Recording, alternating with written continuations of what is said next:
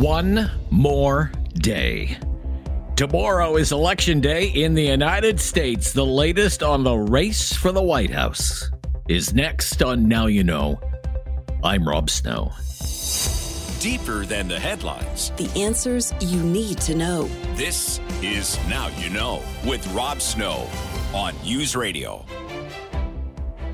Tomorrow is the big day. It will be November 5th, Election Day in the United States. Kamala Harris versus Donald Trump with the White House on the line. And the Harris campaign just released a new ad on social media. It is called We Rise. In America, we rise. We rise early. We rise late. We rise to every challenge because freedom demands more than just words. Freedom is the sound of steel striking steel, the hum of factory floors, the buzz of small town diners opening at dawn. It's knowing that what you build belongs to you. But somewhere along the way, the balance shifted.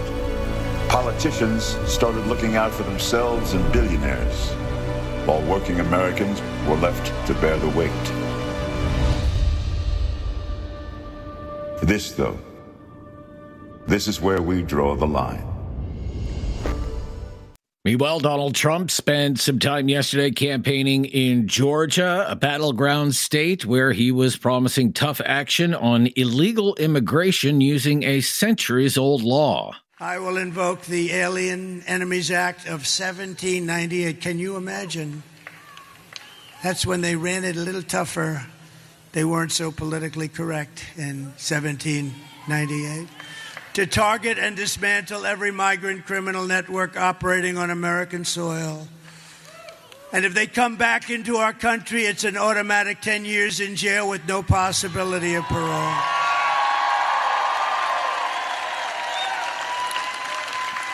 And I am hereby calling for the death penalty for any migrant that kills an American citizen or a law enforcement officer. Donald Trump has been using a new line at his rallies too big to rig. That he wants election results that are too big to rig. We must defeat Kamala Harris and stop her radical left agenda with a landslide that is too big to rig.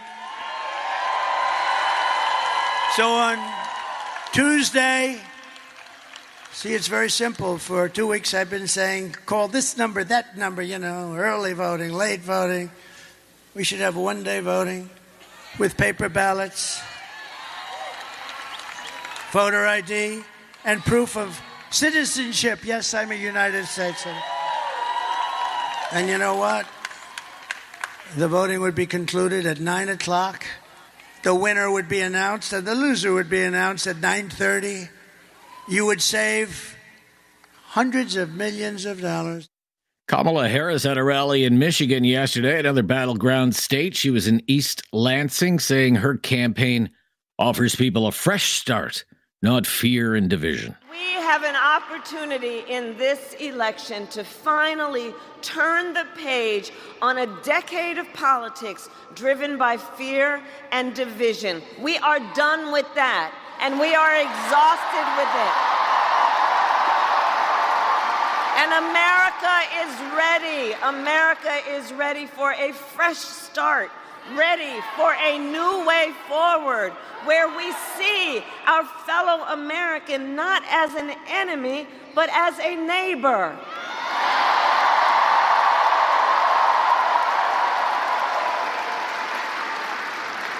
We are ready for a president who knows that the true measure of a leader is not based on who you beat down, it is based on who you lift up.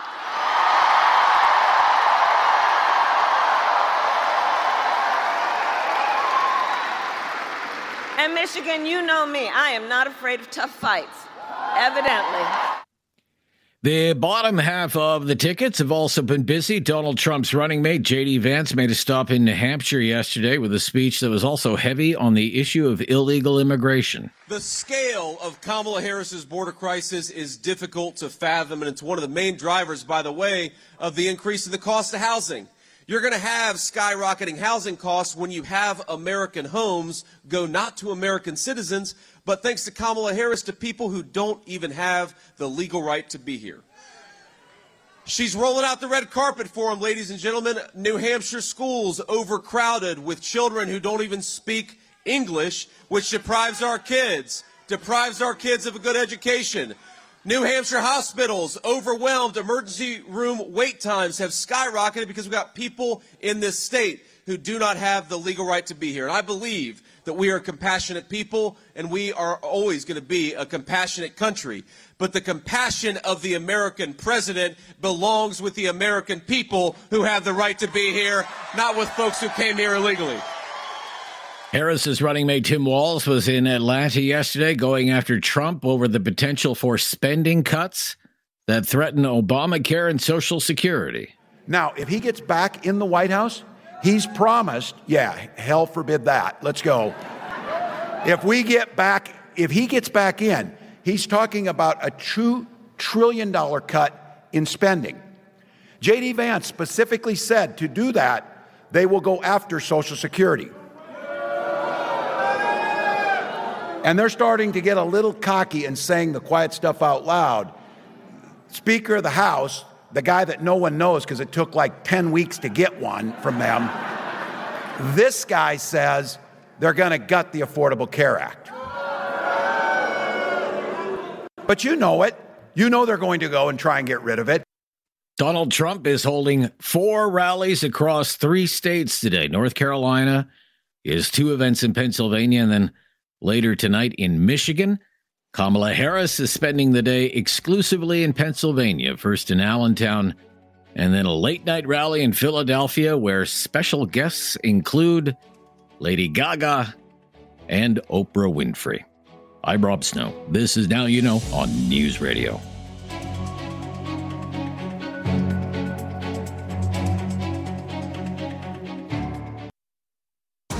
You questions. Now You Know with Rob Snow has the answers. On News Radio. A new political week is underway in Ottawa, where, in addition to waiting for the results of tomorrow's U.S. presidential election, Liberals are dealing with an emboldened Premier of Alberta. Danielle Smith not only survived a test of her leadership at a weekend convention of members of the United Conservative Party, she came out of that vote with 91% support. And during her speech to delegates at her party's convention, she made her position clear on Alberta's oil and gas industry. The province is ready for a fight with Liberals and New Democrats in the nation's capital. They have failed.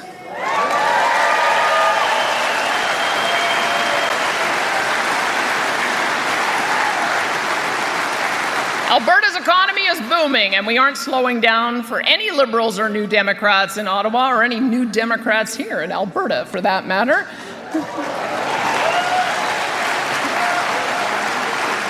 We will build new pipelines, oil and gas facilities, petrochemical plants, hydrogen plants, and more because Alberta is an energy superpower, and that's another thing we will not apologize for either.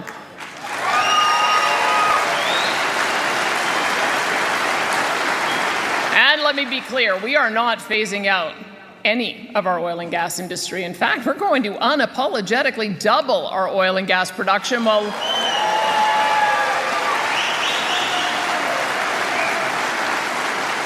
And we'll lower the emissions the smart way through technology and by sending more of our clean oil and natural gas to Asia and the United States. And Steven Guilbeault can throw as many temper tantrums and concoct as many green schemes as he wants, we are not going to budge an inch, ever.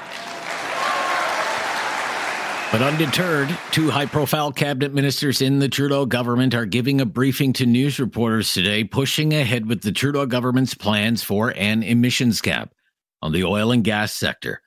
Under the Trudeau government's plan, Canadian oil and gas producers will be required to cut greenhouse gas emissions by about a third over the next eight years. Federal Environment Minister Steven Guilbeault has always said the oil and gas sector has to do its part to help lower greenhouse gas emissions. And the Natural Resources Minister Jonathan Wilkinson has said Canada has an obligation to lower greenhouse gas emissions. So, Canada has an obligation under the Paris Agreement to achieve our own emissions reduction goals, um, just like every country around the world has. And so, any development of industry, whether it's LNG or anything else, needs to fit within the context of Canada's overall climate plan. Certainly, we are looking for ways to assist allies to help them reduce emissions. That's not just LNG, that's hydrogen, that's critical minerals, that's a whole range of thing, different things. But if you're going to make the case for LNG, you actually have to make the case that you can do that domestically and you can tie it directly to the displacement of heavier hydrocarbons like coal. And you have to recognize that in order to actually bring emissions back to Canada under Article 6, you actually need to have a country that's far ahead of its emissions reductions goal. I'm, I'm not aware of any G7 country that is ahead of where it needs to be with respect to emissions reduction. So it is, it is um, you know, I've, I've heard Premier Moe, for example, say we should get uh, we should get credit for some of the low emission um, agricultural products that we actually sell to the world. Well, that's like saying Denmark should get credit when they actually sell wind turbines to Canada. Like at the end of the day, we get the jobs and the economic opportunities associated with the things that we do here, but we have to manage our own emissions and we have to try to help our allies do the same thing for them. The Smith government in Alberta is running advertisements all across Canada warning Canadians of what it says would be some of the consequences of an emissions cap on the oil and gas sector. For example, it warns of slower economic growth, big job losses, and higher prices for things like groceries. While that back and forth between Alberta and Ottawa rages on, inside the House of Commons in Ottawa, very little is getting done. The House of Commons is sitting this week, but business continues to be stalled because of the government's refusal to produce documents related to the so called Green Slush Fund. That remains a matter of privilege in the House, and until that impasse ends, no other House business can be dealt with. Michael Barrett has been one of the Conservative MPs leading the charge for the opposition on the Green Slush Fund. As soon as they, uh, as soon as uh, Justin Trudeau's ready to uh, end the cover-up of this 400 million dollar scandal involving their Green Slush Fund, turn the documents over to the RCMP.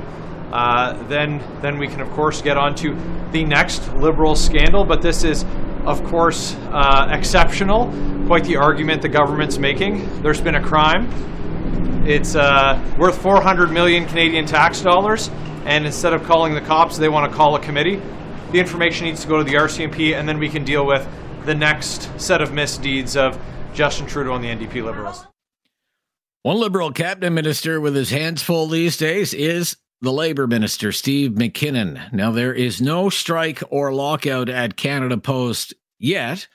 The two sides are still talking. Neither side has issued a 72 hour notice. MacKinnon has said the Labour Department is very active in trying to bring the two sides together.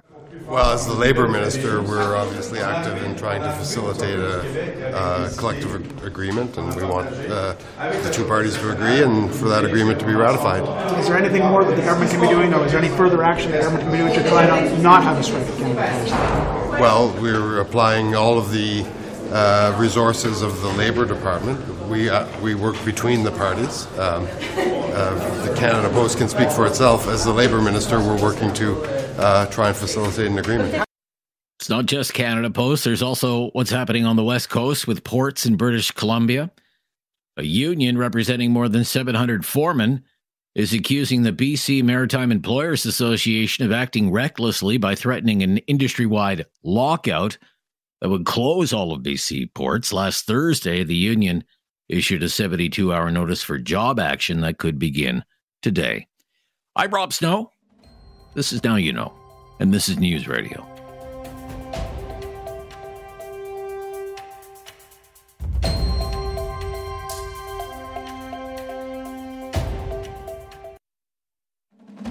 No question goes unasked or unanswered. Now you know with Rob Snow returns on News Radio. Newsday panel is uh, coming up right after the news at the bottom of the hour.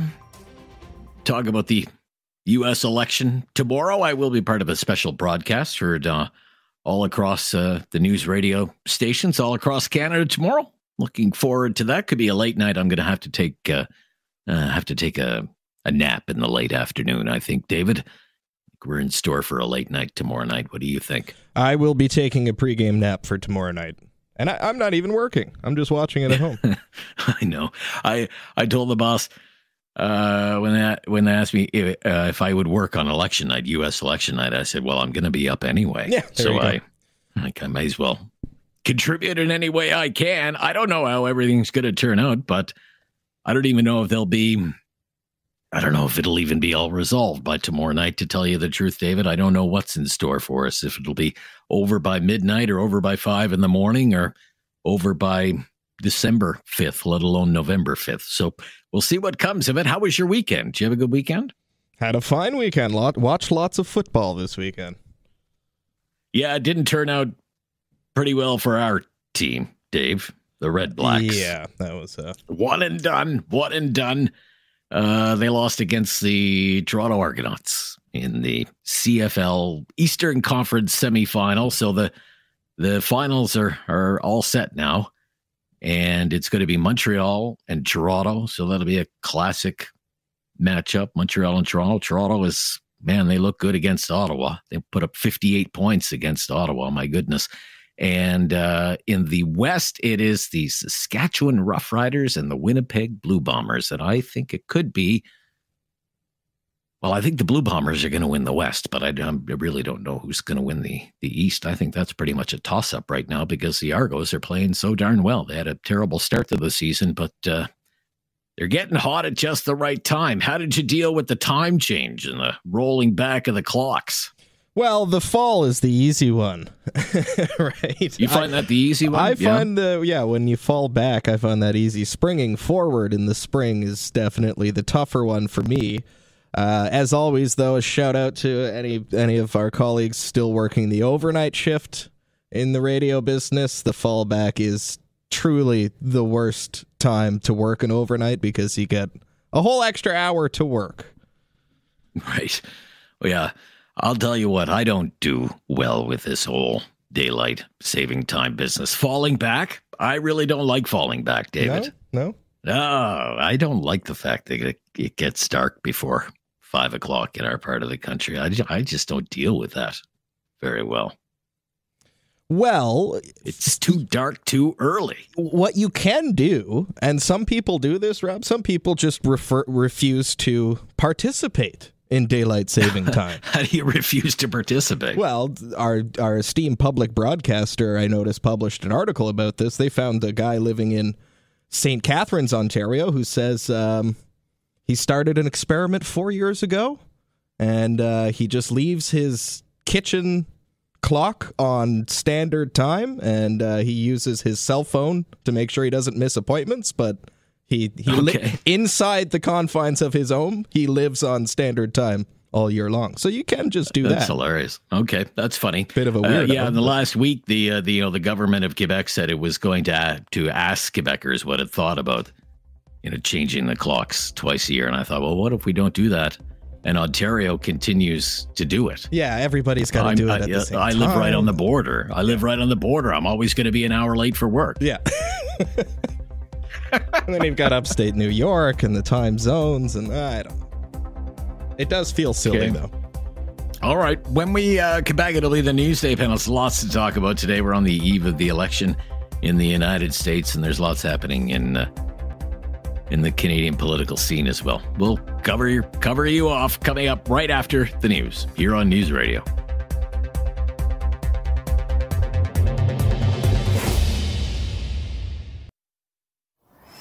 Critical thinking is not dead.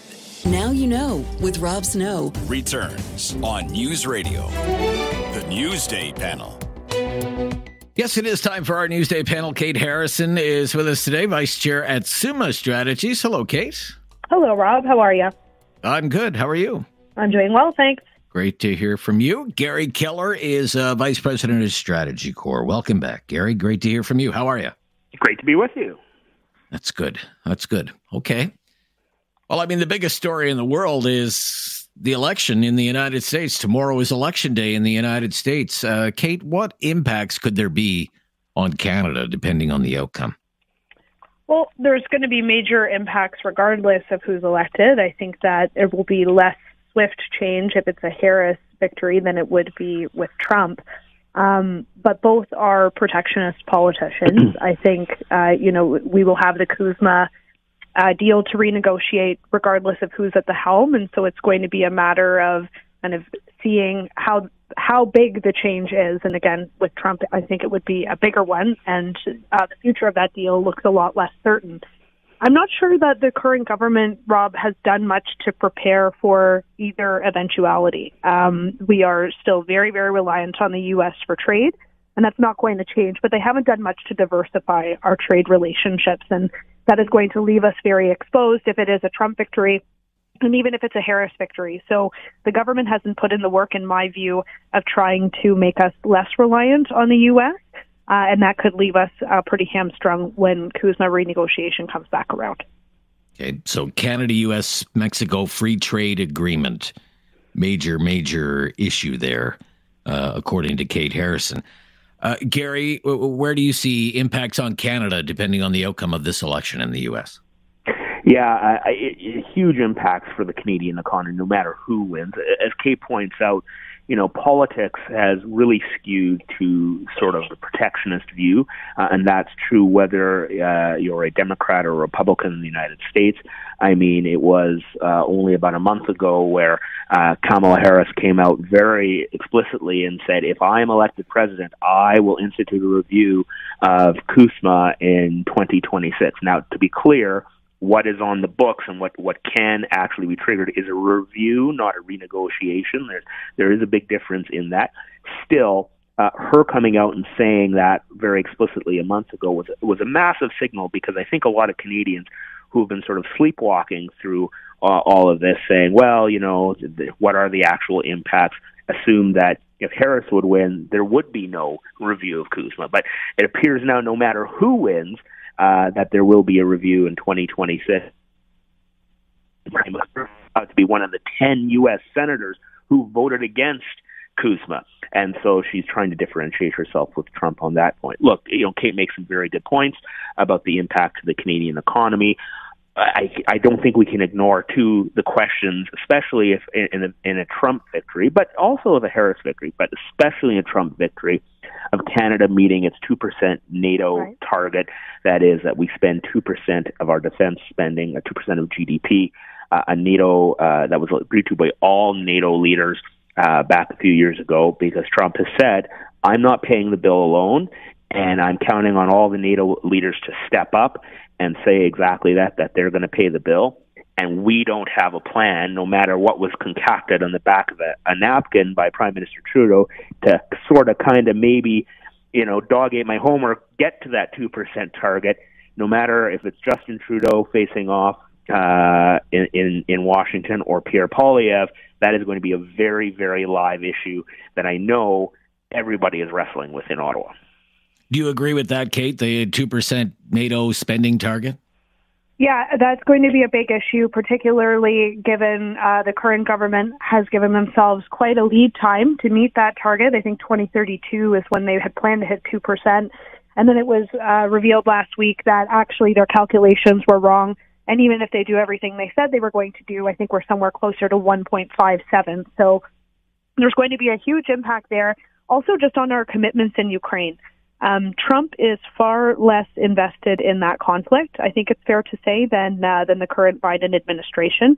Canada uh, has, in some ways, not all, but in some, punched above their weight in terms of Ukraine donations. That's uh, a half billion dollar effort that they have committed to um, uh, in terms of our involvement in Ukraine. And so, uh, what does the future of that conflict look like? And by extension, Canada's contributions to the to the region. Uh, would we go it alone? Um, particularly if we have a Trump administration that's not really counting some of those donations towards our uh, towards our two percent GDP. That's going to be another uh, major point to look at. And I would also just say, Rob, particularly given the oil and gas cap announcement today, energy security. I think that that's going to be a huge topic, uh, regardless of who wins. Uh, particularly now that Canada has signaled that, that, we are intent to turn off the taps, which would leave the U.S. exposed uh, and trying to purchase oil from uh, non-allied countries. Okay, that's interesting. What do, what do you think about this idea, uh, Gary, that the, the Trudeau Liberals are hoping for Harris, but they know how to deal with with Trump, and also that uh, uh Poilievre might be best positioned for Canada in case Trump wins. What do you think about that? Well, I look for the. I think for their own sanity, the Trudeau Liberals and especially the people in the Prime Minister's office are hoping for a Harris win because I think they believe that that will not be as much of a, a challenge. But but at the same time, politically, the government has been in such a difficult spot for so long now that in order to try to change the polls around, it is looking for exogenous events, outside events that can hopefully change the electoral math in the lead up to our next election, whenever that might be. And I sincerely believe that for all the hope from a government perspective that the Liberals have that it's a Harris win, from a political spec- uh, perspective, I don't think they would mind if Trump would win because I think they desperately want to try and attempt to try uh, in their ads and in their rhetoric, and they're already doing it to try yes. to tie Donald Trump and Pierre Poilievre. Now that is a false right. dichotomy, but liberals okay. will certainly try to do it just like they pull out the, all the old stops you see on abortion and health care and guns and you name it. Expect buckle up. It's going to be a wild ride, and I think there are okay. people in the Liberal Party apparatus that want that. Yeah, maple syrup MAGA. Maple syrup MAGA is the the line that they've been using uh, lately on the leadership in this country and what they might be hoping for from the outcome of the election in the United States. Kate, a quick comment on that, please. I, I really think that they need a Trump victory in order to provide some contrast. I think that it's foolhardy, to Gary's point, to think that Canadians are going to reward those Poilievre Trump comparisons. They are not likely to land. And, you know, a lot of public opinion data suggests that Poilievre would do much better in a Trump presidency. At least that's how Canadians feel. Um, but if you're on the Trudeau Liberal team, there's very few uh, rabbits left to pull out of the hat. Uh, trying to draw a contrast with Trump uh, and point to the importance of stability is really all that the PMO has left, in my estimation. So I think while a Harris ride would be easier politically, Trump presents them with a greater opportunity for contrast. Okay, we'll be right back. Uh, we'll turn our attention to what happened in Alberta over the weekend. Danielle Smith's big win and Shots at Ottawa fired. I'm Rob Snow. This is Now You Know on News Radio.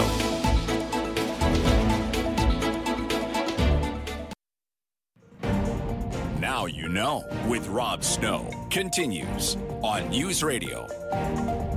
With our Newsday panel featuring Kate Harrison, Vice Chair at Summa Strategies, and Alberta boy Gary Keller, Vice President at Strategy Corps. And uh, what did you think, Gary, of Danielle Smith's big win at the UCP convention, better than 91% support. What'd you think of the number?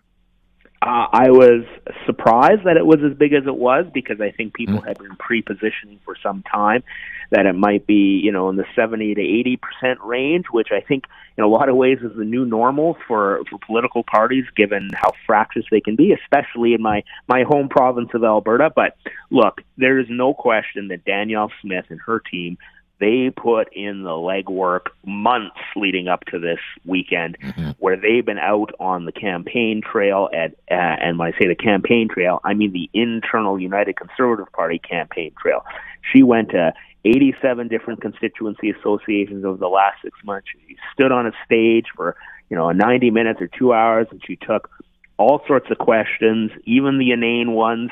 She sat there and she took them and she answered them.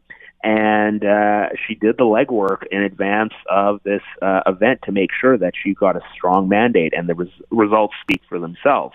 And you know what she was most afraid of was having the result that Jason Kenney had, where he only got what fifty four percent uh, in in his leadership reviews. Still need to do the legwork, get out there, meet with people, take their questions, shake hands, kiss babies, to make sure she got the results that she did uh, on the weekend. Okay, what did you think of Danielle Smith's uh, big weekend at the convention, uh, the UCP convention? Yeah, usually when you've got 4,000 plus people turning out for a political convention, that's not a good sign, right? It's not a good sign in a review. It, it would seem as though, you know, there was a rebuke to the leadership. At least it was that way Um, you know, I'm thinking, for example, with John Tory's leadership review in 2007, after or 2008, after losing the 2007 election, he had 66% and decided to stay on, and then lost in a by-election. So this is much more decisive than that. And I think to Gary's point, he's correct. She she put in the legwork and did the grassroots connection with members. There was no venue too small uh, for her to go to. Um, and it is an, an, impressive trait in a political leader to be able to recognize, um, you know, when that is needed and not think you're kind of above dealing with the grassroots membership or designating other people to deal with that. And I think that that is something that sets uh, Danielle Smith apart uh, from other political leaders is that she she understands that and, and puts in uh, a lot of that work herself uh, to make sure that she's accessible to the membership, and that's uh, that's clearly been rewarded with that result. Yeah. I thought uh, stuff was uh, brilliantly timed just to coincide with the UCP uh, convention as well, whether it was um, revealing the exact contents of this Bill of Rights uh, issue in uh, Alberta, the introduction of the legislation around trans slash parental rights issues, and as well uh, launching a a challenge of the carbon tax carve out. All of this, I'm sure, was done, Gary. I would say quite deliberately, with the the backdrop being the the upcoming convention. What do you think? Oh, no question. It's pretty clear that Danielle Smith and her team can sure read a calendar quite well.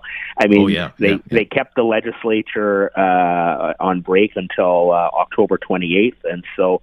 They brought it back just in time. They had this long lead up of all the things they intended to do. In the first week, the legislature was back. She brought in all sorts of legislation and proposed changes uh, to say, and, and this was in advance of the event to say, look, I've been listening to you, the grassroots members. I'm, I've delivered on the following things. And in her speech, uh, there was a bear pit session at the event where they have all the ministers on stage. And she said, let me list all the things we did for you. You wanted X, I delivered X. You wanted Y, I delivered Y. You wanted Z, I delivered Z. And uh, I guess the crowd was quite raucous about it all but again, showing that she was listening very intently to where the party was going. Now, the big challenge Yeah. will be that's where the party is going. Where are Albertans going? Uh, and she needs to govern for all Albertans between now Yeah. and the next election. But when it comes to the well, one of the big news stories in, in Ottawa today is going to be this emissions cap, and the, the ministers involved in that file they're going to be speaking in about ten minutes from now to that issue, the emissions cap for the oil and gas sector. I mean, we've talked so long about building a firewall over around Alberta. Uh, Danielle Smith, we have the audio. I mean, she sounded like Alberta's own, you know, like the living embodiment of the firewall. Let's listen to a little bit of this here. And let me be clear, we are not phasing out any of our oil and gas industry. In fact, we're going to unapologetically double our oil and gas production while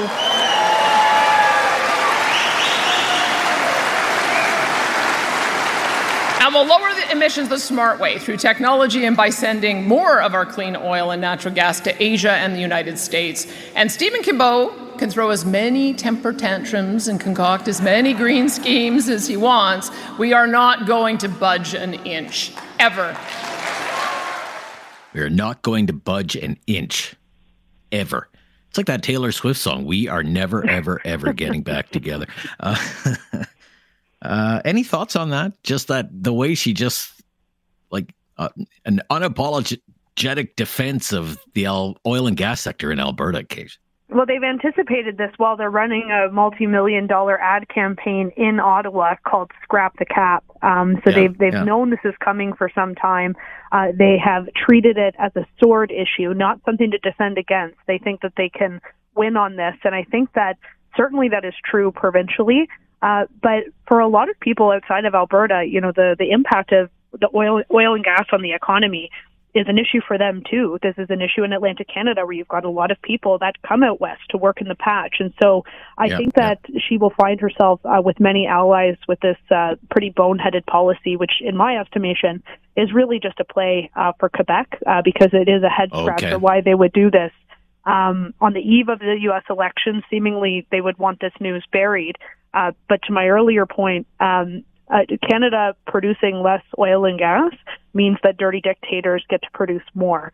Uh, so why you would choose to do that um, at the behest of our allies uh, is is completely confounding to me beyond Okay, we'll- domestic politics. We'll be right back. Talk about that new liberal ad that was uh, released recently, uh, going after Pierre Poilievre. Kind of a strange one to me, but I'll ask our panelists about it when we return. This is the Newsday panel on News Radio. Have something on your mind you want everyone to know? Call now. Hello. 1 833 668 2577. It's Talk Back on Now You Know with Rob Snow. It's the day before the U.S. presidential election. What do you think is going to happen? Alberta Premier Danielle Smith said this weekend Alberta will double its production of oil and natural gas. Share your thoughts on either of these issues today. 1 668 2577. To Mark in Calgary. Hi there, Mark. Hello, Mark. No, Mark. Let's go to Michael in Cape Breton. Michael. How are you doing, Rob? I'm good, Michael. Thank you for calling. Go ahead. Uh, there's a perfect example, Danielle Smith's statement. She's going to double the output of more carbon into the air. She got to be seeing the three-headed caribous and fish with four heads and natural uh, beauty being totally destroyed by wildfires and, and God knows what else is to come. But, Rob, all I can say there, when ignorance is bliss, it's folly to be wise. The people in Alberta haven't learned by now that the woman's incompetent and she don't care about them running from wildfires. Well, they reap what they sow. On the American election, Rob, uh, I'm hoping for Pamela to win. I Kamala. hope Yeah, she wins okay. because if she don't, along with incompetency, uh, Mrs. Smith in Alberta, Trump will be up over the border here and give all our politicians, tell them bend over, and he'll give them a hard boot in the arse, and he'll do what he wants with this country. So if right. the people don't smarten up, they deserve everything they get. And why I'm at it, Rob, they better get a handle on no evangelicals going around with a set of angel wings on Trump. A demagogue. A demagogue. Okay, what kind right. of game are they playing anyway? Of course, they got the people brainwashed. Washed too. That's more of a cult than they're living, still living in the Old Testament. But anyway, Okay. I'll leave you I with got you, that. Michael. but- I got you, Michael. I got you, Michael. No to Trump and no to increased oil production in Alberta. Uh, Richard in Waterloo. Hello, Richard. You're on the air. What's your opinion, Richard? Hey, Rob. You know, it's uh, it, it's. I'm probably the only person who's going to miss this election campaign because I find the whole thing fascinating. But okay, you know, I, I wonder. You I mean look you're going to miss it when it's I- over? You mean you're going to miss Ah, it when yeah, it's I'm over? miss it. I'm, I'm oh, really? it. Okay. It's it's All right. entertainment. Uh, Okay. I just I just wonder if this is a seems like a choice between a past that never happened and a future that you may not be able to attain. You know, the harkening back to oh the bucolic days of the 50s and 60s and how everything was perfect. Well, you can't Right, go back right. there. Okay. And then there's this fuzzy vision of a future. I don't know what it looks like, but it's. I I think it's going to be fascinating no matter which way it breaks. If Trump loses, we know he's not taking that well. If if if he wins, well, buckle in. It'll be interesting. I think it's incredibly close, too close to call, and Right. it'll be probably I think the end of the week before to decide. Okay. Are you? I mean, it sounds as though you would prefer Harris carry it over Trump because you, you're kind of saying, well, Trump is offering this vision of America that doesn't really exist anymore. You know, the 1950s America. Yeah, well, you know, Yeah. Okay. well, it's one thing to offer; it's another thing to achieve it. Right. So okay. I'm not 100% sure you can achieve either one of those visions that are I out see. there. Do I have a preference? I have a preference for whoever takes over that's good for this country because we do sleep with that elephant, right? Um, Sure. Yeah. So that's yeah. kind of where I don't really like either one of them. Okay. I think, like some people say, in a country of 400 million, can't you do a bit better? But Yeah. Very common sentiment, I think, uh, especially for Canadians. I think, uh, well, Richard, you know, I think that's very. we got to look yeah, in the mirror. Can we do better? We got a country of 40 million people. Maybe we can do better too. Okay. All right, Kevin.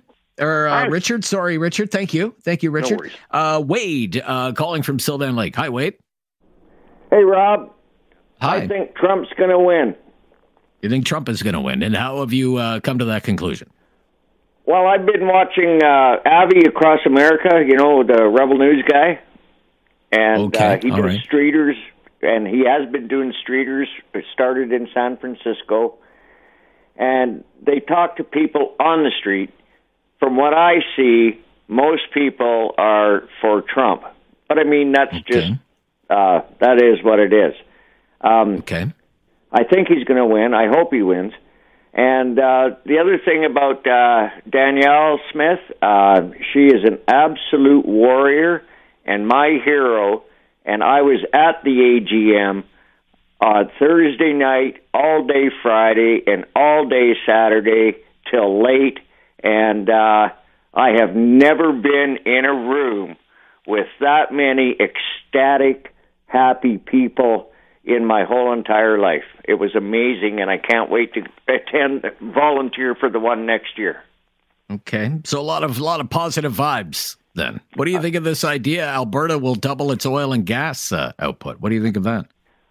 Well, even if it doesn't get doubled, I think as as long as we keep uh, keep on that path, because the um, uh, you know all of the things that come out of oil and gas, all the other products that creates thousands of jobs for for thousands of people, and uh, we they need to be able to the younger generation needs to be able to afford to live, and if we don't, well then uh, we're how are they gonna how are they gonna live?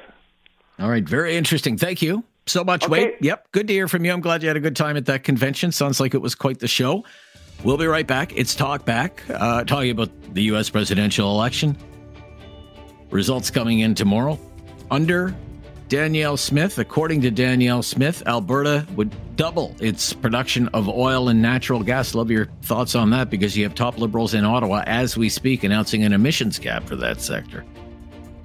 Would doubling the oil and gas output of Alberta be good for Canada, bad for Canada? Your thoughts. 1 833 668 2577. Talk back on a Monday on News Radio. Now you know with Rob Snow continues on News Radio. Gary Keller is with us from StrategyCorp. Kate Harrison from Summa Strategies Newsday panel. Not a lot of time, so let's uh, get right to one of the new liberal ads. Go, go ahead, David. When it comes to strengthening our public healthcare system, the Liberal team is fighting for you. After they secured vaccines to protect Canadians from COVID 19, they made investments to hire more family doctors and reduce wait lists. Now they're rolling out dental care and they're getting pharmacare done to deliver free contraceptives and diabetes medications. Pierre Poilievre has made it clear that he would make cuts to all these investments, removing healthcare services from millions of Canadians. Canadians need progress, not cuts. We won't go back. Won't go back. We won't go back. Fighting for you on healthcare, Kate. Some quick thoughts, please, in a minute or less. Yeah, I, I I think if you talk to anybody that interacted with Canada's healthcare system anywhere in the country, they would say that we need to make a change, not that we need to go back. Uh, when there's a change narrative happening, Rob, uh, it's an odd choice of slogan. I think I would point out, obviously, you don't hear it in the audio.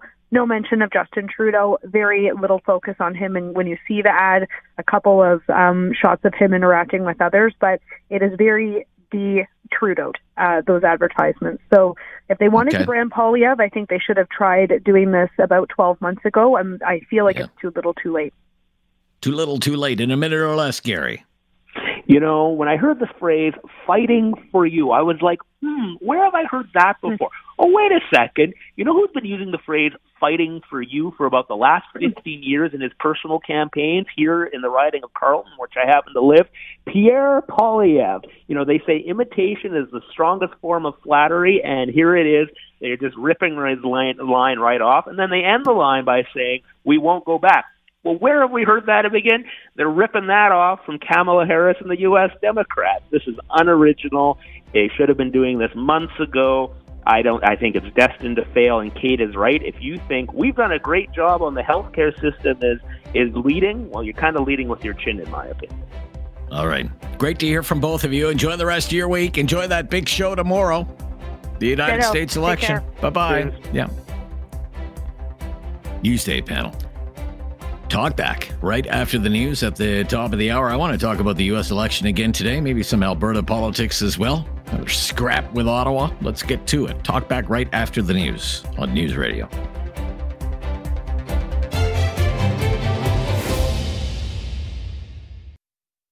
It's time to talk back.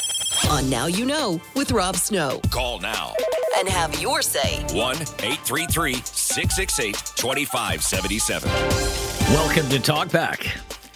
Two hours of debate and discussion on the big issues of the day. And look, there's no bigger issue, no bigger news story in the world than tomorrow's U.S. presidential election. So we'd like your thoughts again today because it, let's face it, it's getting down to crunch time here. I don't know what's going to happen. What do you think is going to happen? What do you think is going to happen? I don't know who's going to win. Who do you think is going to win? Let me ask you. Are you worried at all about the outcome of the U.S. election? And if so, what has you worried? What are you concerned about with this U.S. election? How could it impact Canada? What could this election mean for Canada? I mean, those are just some of the questions that we have just to kind of get the conversation going today. 1 833 668 2577. 1 833 668 2577. I mean, there there are some other issues that we can talk about today, but my goodness, this week this has to be the big one. It's it's kind of like everything is in this this holding pattern now. So many people are waiting to see what's going to happen tomorrow. And who knows if everything is even going to be settled by tomorrow night? Who knows? I don't know. Dude, what do you think? Maybe it maybe it drags on. Maybe it drags on for days or weeks or months. I don't know. What do you think? I am going to be part of a special broadcast tomorrow that you'll hear on all of the news radio radio stations. So I, I know a lot of you are going to be glued to the cable news networks. So you get home from work and sit down, start to watch the, the results come in. But if you are out and about tomorrow, uh, on the road, if you're at work, give us a listen and uh, we'll keep you right up to date. You won't miss anything. The U.S. presidential election.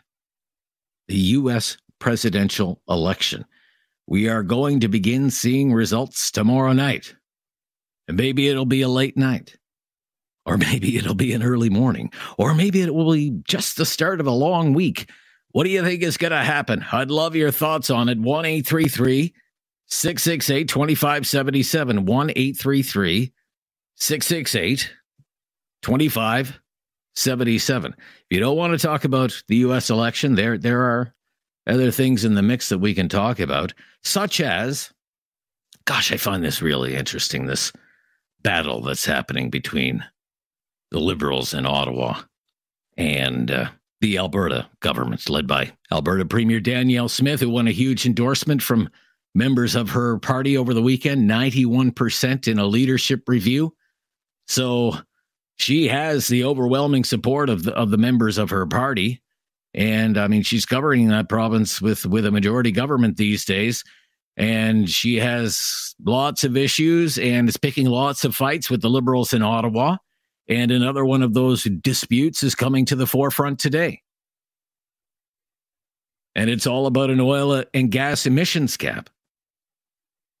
Now, I know I mentioned this last week, but I think it's very it's a very important issue. It is worthy of some attention. The liberal government in Ottawa is going to impose a cap on emissions in the oil and gas sector. And Steven Guilbeault and Jonathan Wilkinson, Guilbeault, the environment minister, Wilkinson, the natural resources minister. I mean, two of Trudeau's front bench cabinet ministers are going to outline to news reporters this emissions cap here in Ottawa today. It's happening right now, as a matter of fact. Now, in Alberta, the government there under Premier Smith is running this advertising campaign. It's warning of all kinds of bad things that are going to happen if this emissions cap comes into uh, effect, saying it's going to raise prices for you. It's going to be bad for the economy, not just the Alberta economy. The argument is what's bad for Alberta is bad for the rest of Canada. They say it's going to cost jobs. It's going to lead to a big slowdown in economic growth. Oh, and did I mention you'll pay more for groceries? According to the government of Alberta. And Premier Smith in Alberta, during her speech at that convention over the weekend, and David has the audio, said Alberta's not going to be told what to do with its natural resources, with, with its oil and gas. It's not going to be told what to do by liberals and New Democrats in Ottawa. And said the province is not going to phase out its oil and gas industry. In fact, it's going to double the output of oil and gas from Alberta. David, play play the tape if you can, please. And let me be clear, we are not phasing out any of our oil and gas industry. In fact, we're going to unapologetically double our oil and gas production while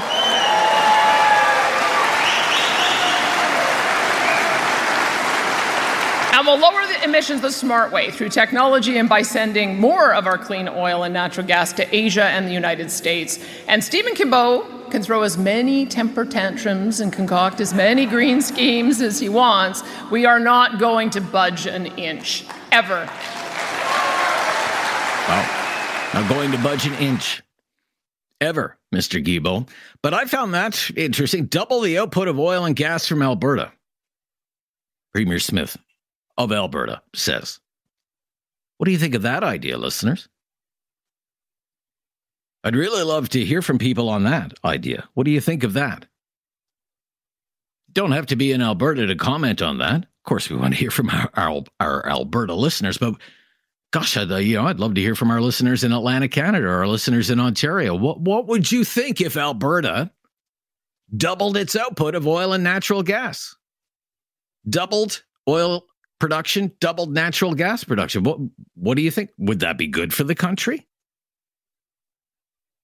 Good for the economy? Good for jobs? Good for energy security? Or would that be a bad idea? Because of an increase in greenhouse gas emissions, because of the climate crisis. I'd love to get your take on that. I find that topic really, really interesting. You have liberals in Ottawa today announcing an emissions cap on the oil and gas sector, and at the same time, the Premier of Alberta is saying, I don't think so. In fact, I think we're going to double our output of oil and natural gas. Who do you think has the better policy for Canada? 1 668 2577, 1 668 2577, the U.S. presidential election. Results will finally come in tomorrow. We want your thoughts today here in the home stretch here on election eve about how you think it's going to all turn out. And the latest in the war of words between the Trudeau Liberals in Ottawa and the Premier of Alberta. What would you think if Alberta doubled its oil production or doubled the production of its natural gas? Good for Canada, bad for Canada. Phone lines open now. If you've never called before, just mention that to David and we'll make your call a priority. At 1 833 668 2577, it's talkback for another week on News Radio.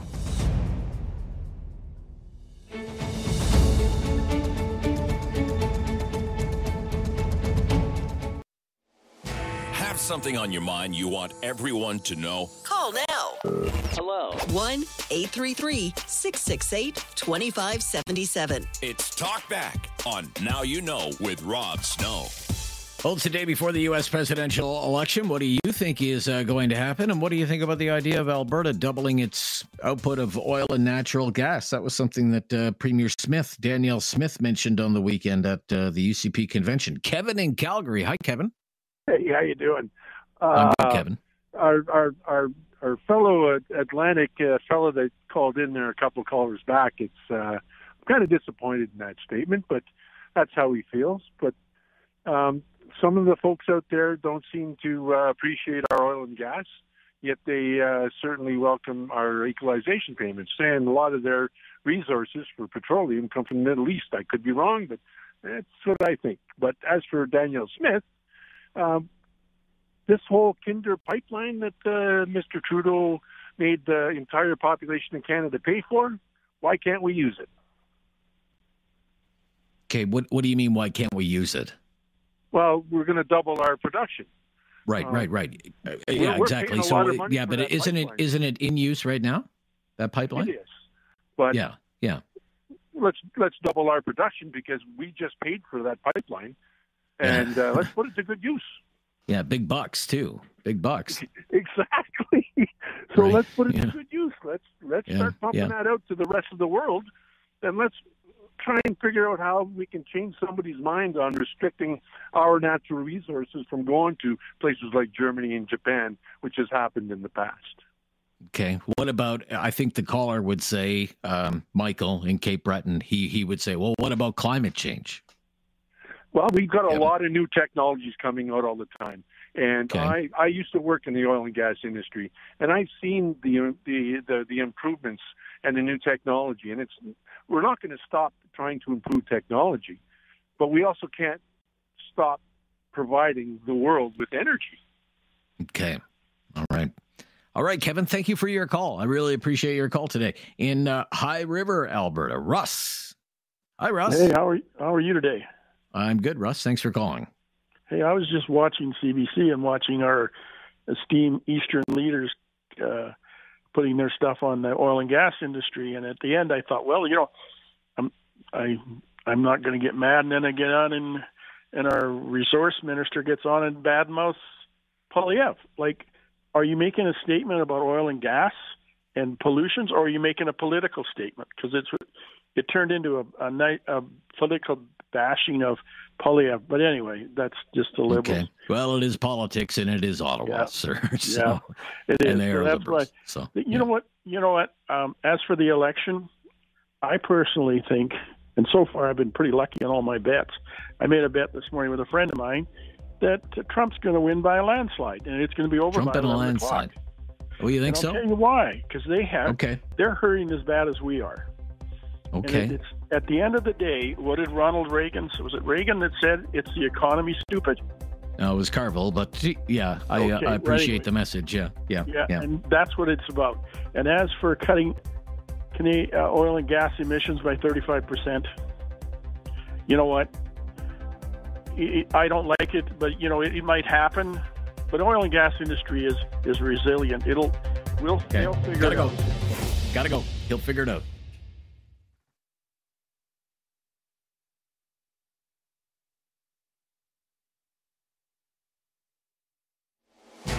Have something on your mind you want everyone to know? Call now. Hello. 1 833 668 2577. It's Talk Back on Now You Know with Rob Snow. Yes, it is. And it's the day before the U.S. presidential election. So share your thoughts on what you think is going to happen. Any worries or concerns you might have about the outcome of that election? We'd love to hear it. Alberta Premier Danielle Smith said this weekend that under her government, Alberta would double its production of oil and natural gas. This, as top liberals in Ottawa cabinet ministers announce an emissions cap for the oil and gas sector. What do you think about Alberta doubling its oil and gas output? Do you think that'd be good for Canada? Would it be bad for Canada? Scrap the cap is the campaign that's been launched by the Alberta government, includes all kinds of advertising, $4 million campaign paid for by Alberta taxpayers. Mr. Guilbeault, the environment minister, was just asked about that at an event in Ottawa just moments ago. Here's what he had to say. you know, it's more, it's more hot air and, and disinformation on the part of the conservative movement in Canada, whether it's Pierre Poilievre, whether it's Danielle Smith, whether it's Scott uh, pretending that climate change isn't happening in the face of mounting climate impacts and, and dramatic impacts on, on the lives of Canadians, but also cost to the Canadian economy. Uh, they will continue doing stupid things, and we will continue focusing on helping Canadians to create a robust economy, good jobs, and work to protect the environment. Okay. Pierre Poilievre is doing stupid things. Danielle Smith is doing stupid things. And what about the climate crisis? That would uh, seem to be the response from uh, Mr. Guilbeault in Ottawa today. Let's go to Sean in uh, Cambridge, Ontario. Hi, Sean. Hi, good afternoon. Yes, these Hi, Sean. gentlemen are clearly not very well educated in the industrial area. I mean, they talk about, you know, as if petrochemicals are only used in cars. I mean, they're also used in lubricants, CDs, plastics, clothing, paint, cosmetics, all sorts of stuff. It's not just burnt in cars. These people really need to get an education. Like, is that the only thing they're aware of? I mean, like, how, like, are they even qualified to be an industrial minister? It boggles the mind that somebody in our federal government responsible for making policy is that uneducated in the use of petroleum. And I'm all for Alberta increasing the production of oil and gas, quite frankly. You are okay. Yeah. Uh, Mr. Guilbeault would say, "What about the climate crisis, sir? It's You a know, very like energy said, intensive there's other- business. Produces a lot of greenhouse uses. gases. There's other uses for it, like I said. Yes, uh, plastics. yes. You know, you know, there's plastics. There's you know, fertilizers, perfumes, asphalt, lubricants. It's not just going. Not to mention, we're getting more and more efficient every year in burning stuff. And and what's his magic bullet? If if we switch to electrical cars, are we magically going to have 15 more nuclear power plants in Ontario to power this stuff? And not to mention, a lot of these petroleum devices, a lot of petroleum is going to be used to, to make the components for the electric cars. So what's his grand plan? It, these Okay, people, all right. you know, they're big on plans, but very thin on details. Okay. Thank you for your call, Sean. I appreciate you waiting there in, Cambridge. couple of lines available. It's been busy so far. 1 668 2577. Two topics there for you. 1 668 2577. Uh, to Beth in Greenfield, Nova Scotia. Hi, Beth. Hi, how you doing? I'm good, Beth. Thanks for calling. Yeah, so um, just to, I'll try to be brief. Uh, first of all, um, I think it's incredibly irresponsible of um, Danielle in Alberta to threaten to double the production of fossil fuels. Um, I'm wondering at what point do people think there is going to be a generation that that accepts the fact that we are going to have to take measures. It's it's not just the economy we're looking at, and if we can't breathe, we're not going to have an economy in the next ten or fifteen years. Uh, Okay. Second of all, I'd like to say that I think Kamala Harris is going in in a landslide. Trump is Okay. history, and Okay. um, All right. anybody who needs to study this, uh, just look at some of the debate materials available to us every day. Listen to both of them debate, and there's absolutely no competition. Then why is it so close? Sorry, did you say something? Yes, I asked you why. Why do you think it's so close then, if that's the case? Uh, why do I think it's so close? Uh, well, in Yeah. the last probably five days, it has it has been not very close. Uh, it's been evident that Kamala Harris is is taking the lead in a couple of the swing states, and um, you know it's shocking to all the an, an analysts because this is certainly not necessarily what they expected. So where people in general, I think everywhere in the world have thought that it's a tight election, I don't really think it's going to be. I think All it's right. going to be a really extreme win for uh, Kamala Okay. Harris. So you think an early night tomorrow night then? Yeah, geez, I don't All know. right. It's, I'm telling Okay. you, this. I wish it, I wish I wasn't as interested in it as I am, but Right, you know, right. you can't you can't help but be concerned when uh, someone Okay. like Trump has already been in power and was so incredibly incompetent, and uh, you know, telling people to drink during COVID, telling them to drink uh, poisonous materials. And, I mean, the guy is just. Never mind all the uh, conflicts of interest that dangerous, his kids right, got into. okay. So Right, right. anyway, okay. that's right. what I think. For what it's worth. Thank you. Okay. We'll see what happens once those results start rolling in tomorrow. I'm curious, just like everybody else. Let's go to Grant in Kitchener. Hi, Grant. Yeah, good day. Did he Hi, not, Grant. when he was in power, did he not cause a lot of trouble with the uh, free trade stuff, or or something like that?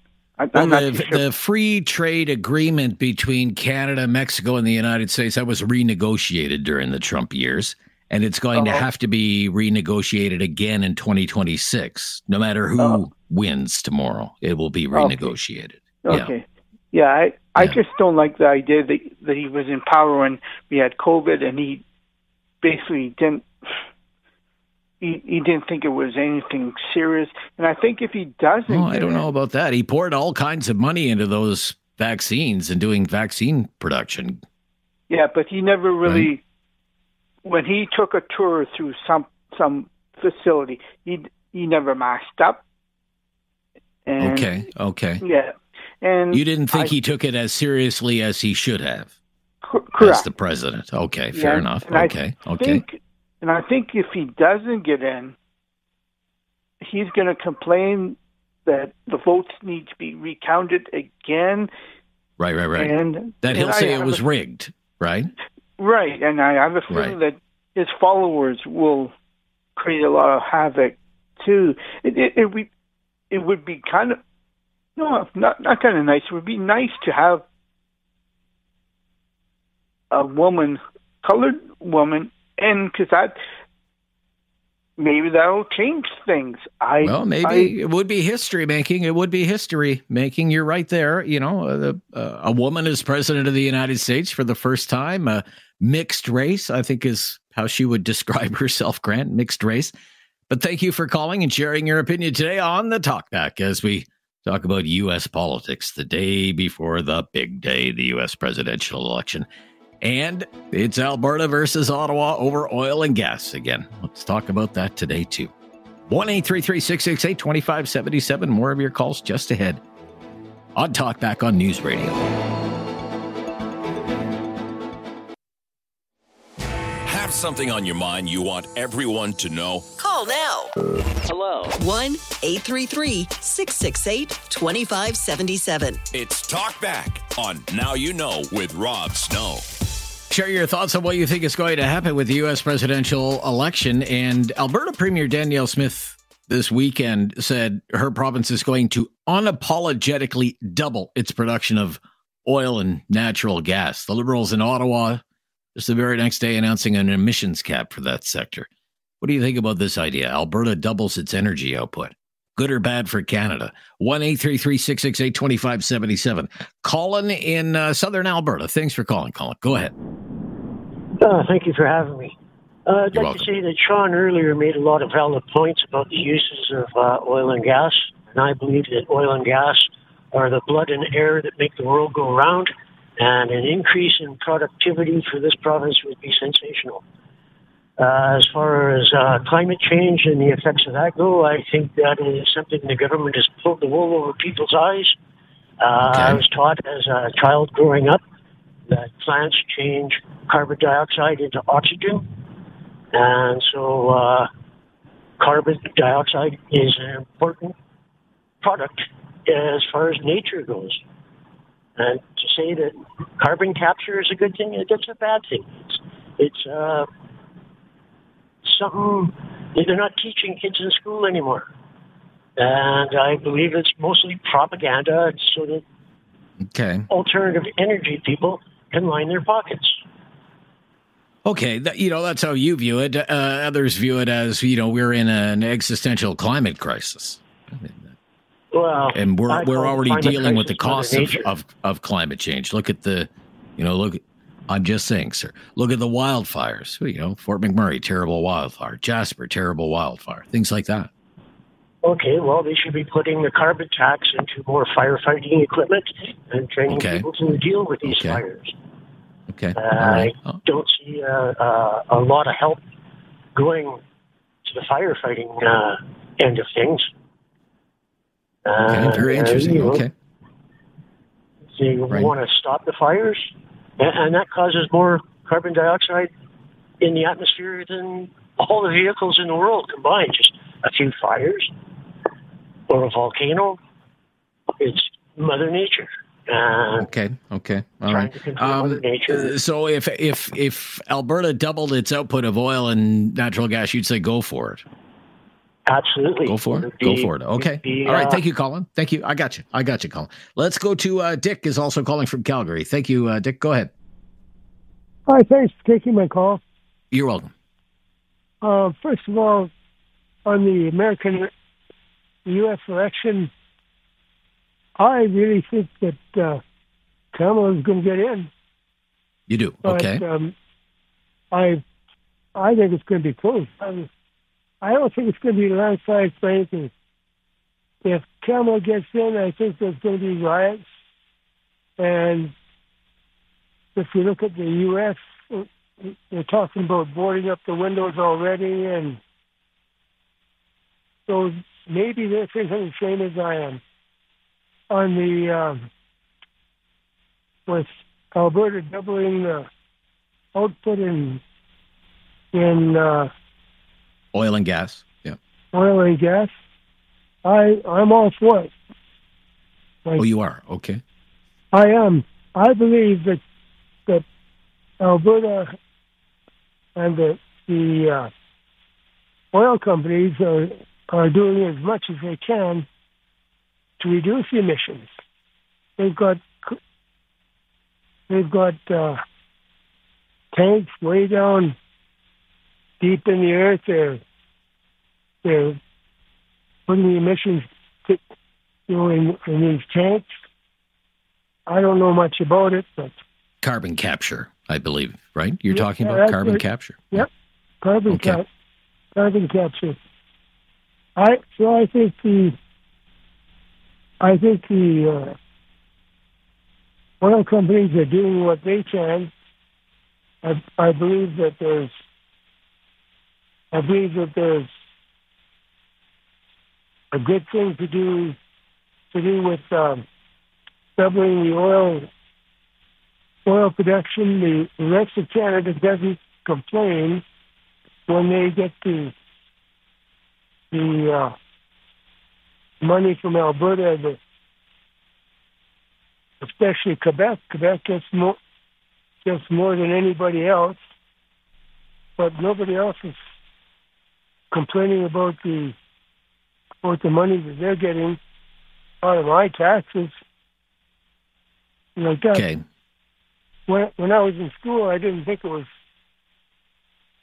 I didn't think it was really a bad thing because I believe that Canada is made up of ten provinces and two territories. We we should share. All right. All right. Thank you That's for that's your call. opinion. Well, I appreciate you sharing it with us and giving us a call today, Dick. I really do. Thank you. And more of your calls are just ahead at 1 833 668 2577. It's Talkback on News Radio.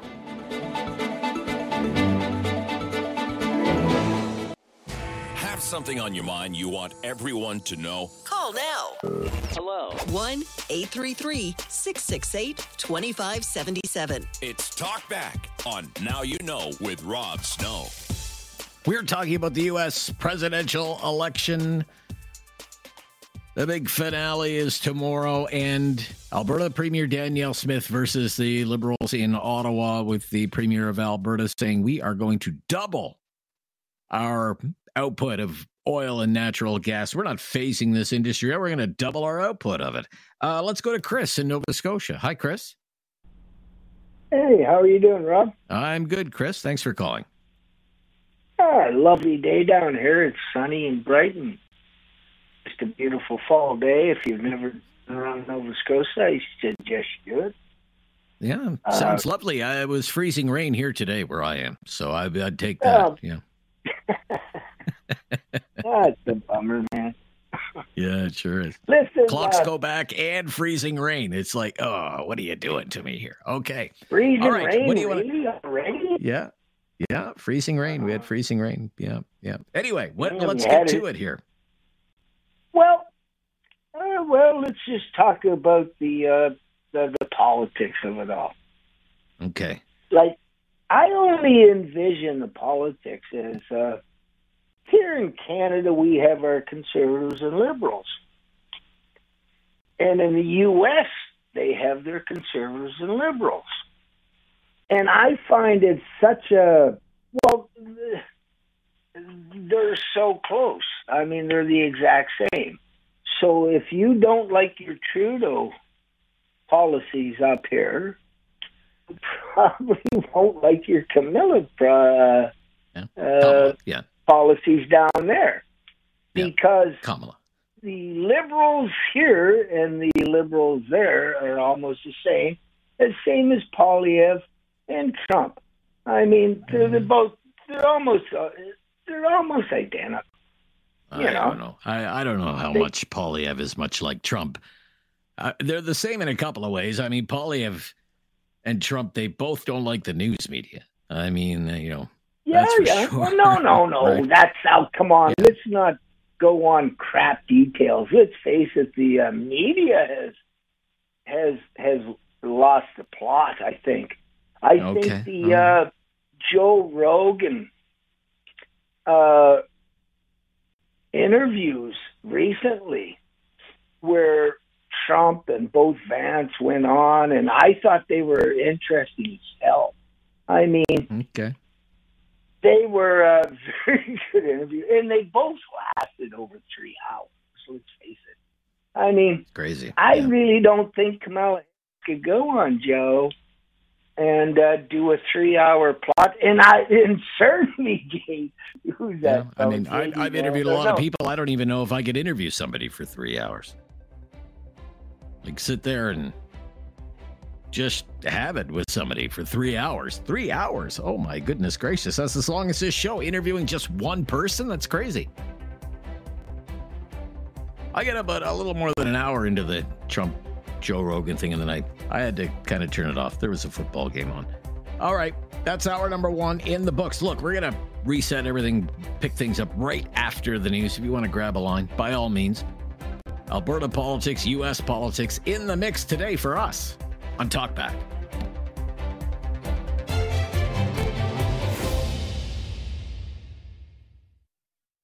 It's time to talk back.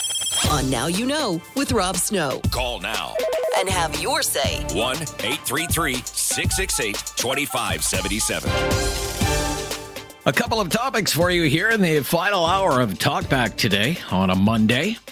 There's the U.S. presidential election with results coming in tomorrow evening. Maybe it's a late night, maybe it's an early morning, maybe it's the start of a long week. What do you think is going to happen with the U.S. presidential election? 1 833 668 2577. 1 833 668 2577.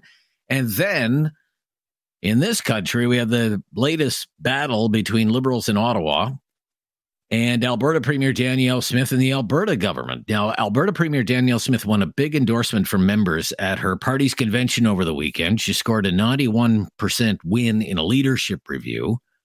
So she clearly has the overwhelming support of members in the party, governs with a, a majority government, of course, in the Alberta legislature. And she's picking a lot of fights with liberals in, in Ottawa, and they're more than happy to fight back. And one of the disputes is coming to the forefront today. It's the oil and gas emissions cap. Okay. This is what Premier Smith said about the oil and gas industry in Alberta during the UCP convention this weekend. Let's listen here.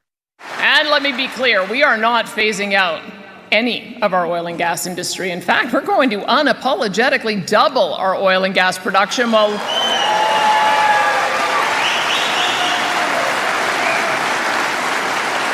We'll lower the emissions the smart way through technology and by sending more of our clean oil and natural gas to Asia and the United States. And Stephen Guilbeault can throw as many temper tantrums and concoct as many green schemes as he wants. We are not going to budge an inch, ever. We're not going to budge an inch ever when it comes to Alberta's energy industry. Uh, you heard say- We're not phasing out the oil and gas industry. We're going to double the output of oil and gas in Alberta, double the output of oil and gas from Alberta. Now, the government there is running a nationwide advertising campaign right now, warning about this emissions cap, saying it's going to raise prices for you. It's going to be bad for the economy. People are going to lose their jobs. It'll lead to a big slowdown in economic growth. All of these things. Multi million dollar ad campaign. So, Mr. Guilbeault, the environment minister, Steve Guilbeault in the Trudeau government, was asked about that at an event in Ottawa today. And this is what Stephen Guilbeault had to say about that. you know, it's more, it's more hot air and, and disinformation on the part of the conservative movement in Canada, whether it's Pierre Poilievre, whether it's Danielle Smith, whether it's Scott Moe, uh, pretending that climate change isn't happening in the face of mounting climate impacts and, and dramatic impacts on, on the lives of Canadians, but also cost to the Canadian economy. Uh, they will continue doing stupid things, and we will continue focusing on helping Canadians to create a robust economy, good jobs, and work to protect the environment. hot air and stupid is Mr. Guilbeault's assessment of what he's hearing, not only from from from Danielle Smith, but also from conservative leaders like Poilievre uh, like Scott Moe, who j- just won a fifth conse- for the Saskatchewan Party, a fifth consecutive term in, in the Saskatchewan provincial election. So uh, let's get uh, right back to the phones. Uh, who do we have up next here, David? Do we have Paul in Cambridge? Is Paul there? No, Johnny is No, next. Paul. Johnny's up in Calgary. Okay, Johnny. Hi, Johnny. Hey, how's it going? Yeah, I'm. Yeah, everything's fine, Johnny. How are you? Good, good. Thanks for having Good. me on. I love your show. Thank you so much. Um, question for you. I think Trump actually is going to win, but I don't think he'll Okay. end up taking office. Um, Really? Something's going to happen. Something either is going to happen to him or something's going to come up. Uh, they've already tried to take him out twice, my Okay. personal opinion. But um, as for Danielle Smith, I think she's doing an amazing job, and I think it's a good thing that she wants to double all the oil productions. We make Alberta is made out of oil. We this is where we all make our money. The rest of Canada benefits from that. So for them to sit there and be sitting there saying no, no, no, we need to stop it, the rest of Canada will suffer way worse without us doubling it. Okay, so you don't think Trump is going to win because you think something terrible is going to happen to him? Oh, of course. There's no way he'll and- end up actually taking office. I think he'll win the election, but I don't think he'll Right. actually step foot in the election. And uh, they can't have him in there. All right, that's a pretty bold. Uh, that's a pretty bold prediction. Now you hear Mr. Guilbeault. He says, "Well, you have to those stupid people like Danielle Smith. What about climate change? What, what do you say to that?" Well, considering there's new technology, and I'm hoping they do fix a little bit of the climate change, but they got to also remember Canada's only 0.01% of the world's emissions. How about we start Uh, about Going one and after all the. One and a half. Percent. Sorry? Yeah, one and a half percent. one and a half percent? Why don't we go after somebody that's over 30 percent? Why, why, why don't we go after all the other countries in the world to stop the climate change when we are the absolute one of the smallest Okay. emissions Uh, in the world? We're not the problem. Canada's not the problem when it comes to climate change. You, you focus on China, focus on the United States, focus on India, the really big emitters. Yeah, okay. Fair points, Johnny. Thank you for your call. Appreciate that. Although a pretty dark prediction from Johnny, Trump's going to win and they're going to take him out. He's he, something bad's going to happen to him. He's not going to be able to take office. Jackie in uh, Calgary. Hi, Jackie. Hi, how are you today? I'm good, Jackie. How are you? I'm good. Um, thanks for taking my call. I was You're just welcome. actually phoning in um, in regards to a statement a gentleman had made earlier in regards to forest fires. I actually have to follow that up because our governments are sometimes at the forefront of some of the issues that we're facing. And one of the things that I know is that the government of Alberta stopped uh, what they would call calling a forest. Back in the late 60s or 70s, we would go through and clean up the dead wood, the dead uh, wood from beetles, so on and so forth. And we don't do that anymore. So we've let this stockpile within our natural parks, everywhere else. And one of the things that creates these forest fires, these massive forest fi- fires, is the government. It, it, they're at the forefront of it. They stopped spending money to clear, and now we pay for it down the road. So you think it's a forest management issue, not a climate change issue? Is that what you're saying? Oh, no, when it comes to wildfires? climate- Yeah, I think they, they both play a part, but Okay, if we were okay. proactive and uh, do our job and you know reduce, reuse, recycle, all of these things will account towards controlling carbon. And I, I'm not a disbeliever of that climate change isn't happening.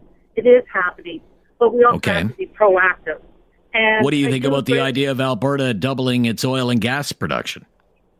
I don't think Danielle Smith can determine if we can double it or not. That's going to be on the producers in the country, uh, in Alberta specifically.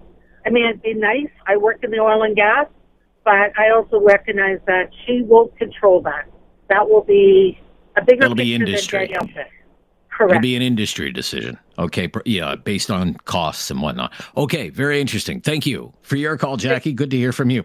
Uh, we will stop here. Be right back. Couple of lines available there. It's been busy all day. Phones ringing off the hook on the U.S. election, on the constant battles between Alberta and the Liberal government in Ottawa. 1 668 2577. Be right back on Talkback on News Radio.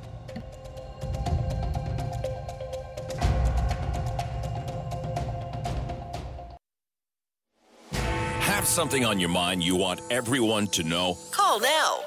Hello. 1 833 668 2577. It's Talkback on Now You Know with Rob Snow. Talking about the U.S. presidential election campaign, with tomorrow being election day in the United States, and Premier Danielle Smith says her government will double oil and gas output. Your thoughts on that? Paul in Cambridge, thanks for calling, Paul. Hi there. Yes, hi there. Um, yeah, I want to talk about the U.S. election. Um, Sure. I think it's still too close to call the way it is right now. But in all honesty, it shouldn't even be this close. I, I mean, you you had a you know has been president after January 6th. You know, we thought he was done, that he'd be toast, right? I mean, your political career is over. But you know, the Biden admin has been so bad, and you know, you got Biden bumbling his way for the past three and a half years. You've got Kamala, who was in hiding most of those years. We didn't hear much from her, and then all of a sudden you're thrust in the spotlight. You know, I, I don't think that this election should be close any, at all. But it looks like the the Democrats have basically resurrected him. Um, You know, and you can't disagree. You know, how did you how did he even get half the population, you know, voting for him or supporting him? Right? It just goes to show you it's just been that bad. This election was was theirs, or it was theirs to lose. I. Should have been theirs. Yeah. But but they did. But the Democrats did such a a lousy job that they they allowed Trump to make this incredible comeback. Is that how you see it? Well, I mean, that's how I see it. I mean, how else could it? Yeah. I mean, after January Sure. 6th, Okay. what happened, you know?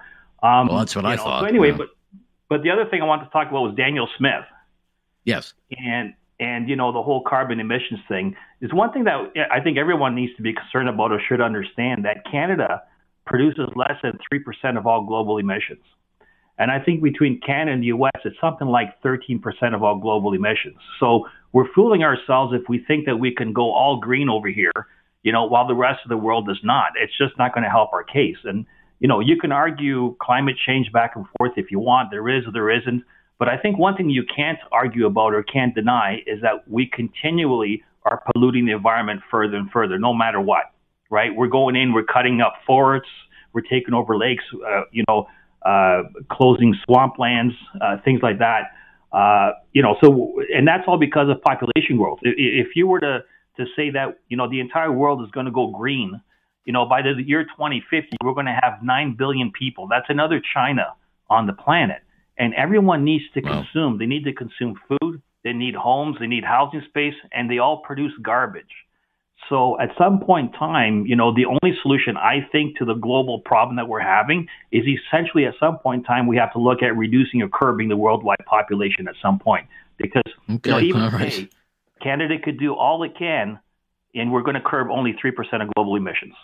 Thank you. yeah, it's closer to one and a half percent. Again, I come back to that. That's the government's own figure, by the way. That's not my number.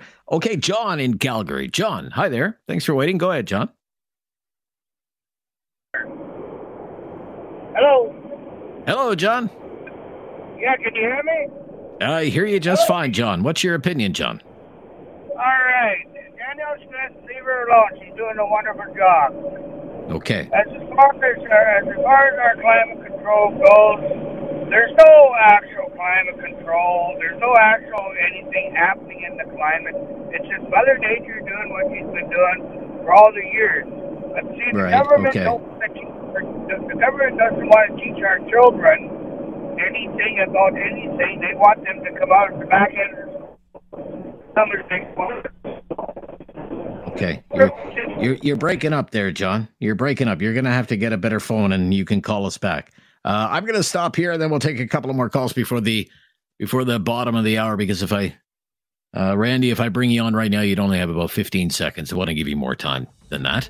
Uh, whatever your opinion happens to be on either the U.S. presidential election or Premier Smith's latest battle with Stephen Guilbeault in Ottawa and the future of the oil and gas sector in this country, 1 668 2577. Comment on both if you want.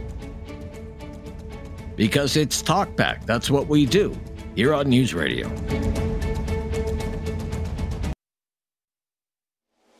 Have something on your mind you want everyone to know? Call now. Hello. 1 833 668 2577. It's TalkBack on Now You Know with Rob Snow. Today, before the U.S. presidential election, feel free to share your thoughts on what do you think is going to happen.